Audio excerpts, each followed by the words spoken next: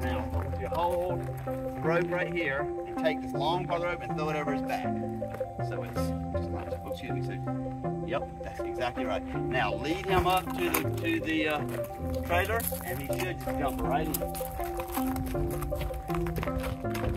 That is a well-trained horse and that's because Lea does not let horses not load.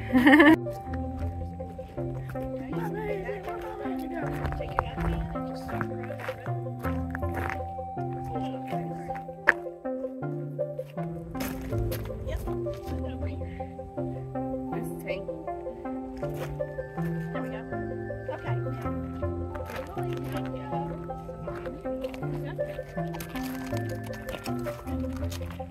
just go ahead and turn and walk towards the trailer. And when you get to the trailer, don't stand in his way. Just let him get on.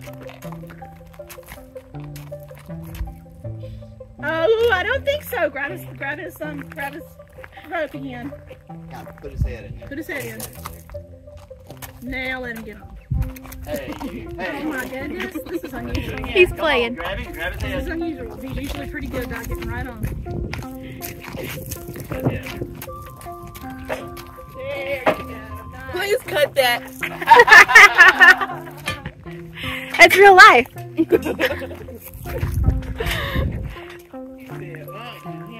Horses don't always cooperate, just like people don't always cooperate.